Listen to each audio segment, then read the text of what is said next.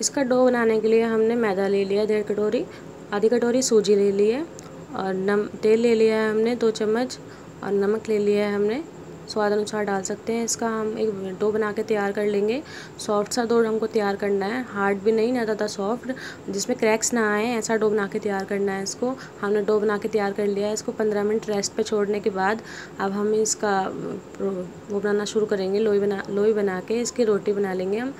और जो हमको कटोरी बनानी है, वो अब शुरू करते हैं। इसकी कटोरी ले लिया हमने। कटोरी के पीछे अच्छे से हम ऑयल लगा देंगे ताकि ये फ्राई करने के टाइम पे तेल में चिप मतलब छूट जाए, इससे अलग हो जाए आराम से। वरना ये अगर आप तेल सही से नहीं लगाओगे तो ये अलग होने में फिर मुश्किल हो जाएगी, अलग नहीं होएगी आराम से।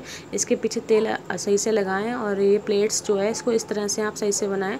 और प्लेट्स को आप ये ध्यान रखें कि सही से चिपकाएँ आप, नहीं तो अगर आपकी प्लेट्स ये सही से नहीं चिपकेगी तो ये तेल में डीप फ्राई होने के बाद ये छूटने का मतलब खुलने की डर रहता है। ये ये प्लेट्स जो है खुल जाती है डीप फ्राई होने के बाद। तो इस प्लेट्स को अच्छे से आप पैक कर दें और उसके बाद ही आप डीप फ्राई करें। देख सकते हो आप, मेरी एक प्लेट खुल गई थी इस पर क्योंकि मैंने इसको सही से बंद नहीं किया था। इसको आप सही से बंद करें और उसके बाद आप इसमें डीप फ्राई करें। मैंने इसको पलट दिया था ताकि ये नीचे से और ऊपर से अच्छे से गोल्डन कलर इसमें आ जाए और अच्छे से फ्राई हो जाए। ये चाट आप ट्राई करें, ये बहुत टेस्टी लगने वाली है। ऐसे ही करके हम सारी कटोरियों पे ऐसे करके बना लेंगे और इसको हम तैयार करके डीप फ्राई करेंगे। ये ऊपर का जो हमको एक्स्ट्रा पार्ट निकलेगा, ये हम काट देंगे इस तरह से, वरना ये फिर अच्छा भी नहीं लगेगा। इसको हम इस तरह से सारा काट देंगे और इसकी जो प्लेट्स है, इसको भी अच्छे से हम बैंड कर देंगे।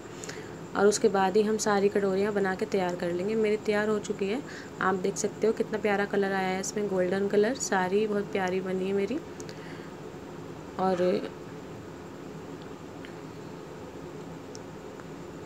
आप देख सकते हो कितनी अच्छी लग रही है मेरी कटोरियाँ बन के अब हमने बॉईल करे हुए छोले ले लिए हैं और ये बॉईल करी हुई मूंग की दाल ले ली है। इसको मैंने पहले भिगो लिया था पानी से। अब हमने ये नमकीन ले लिए दो।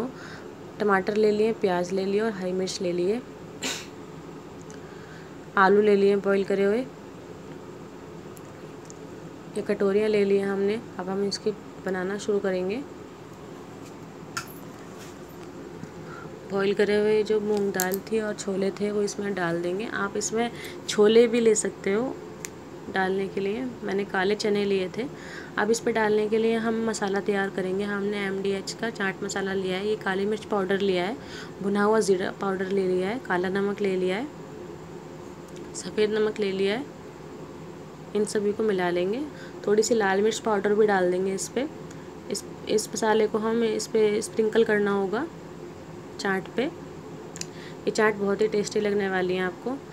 अब इसके ऊपर स्प्रिंकल कर देंगे हम।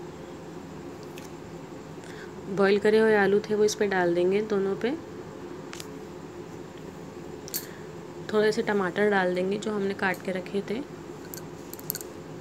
प्याज भी डाल देंगे इस पर हरी मिर्च भी डाल देंगे। हरी मिर्च ऑप्शनल है, अगर आप डालना चाहो तो डाल दो, वरना आप स्किप कर सकते हो। अगर आपको मिर्च पसंद नहीं है तो। जो हमने कचौड़ियाँ बनाई थी, उसी में से मैंने कुछ की ऐसे तोड़ के पापड़ी बना ली है, वो इस पर डाल दी थी। नमकीन डाल देंगे इसके ऊपर। ये ग्रीन चटनी है, ये इस पर डाल देंगे, ये दही वाली चटनी है। इसकी रेसिपी मैंने कल की वीडियो में शेयर करी थी, आप वहाँ से आप देख सकते हो। ये इमली की चटनी डाल देंगे इस पर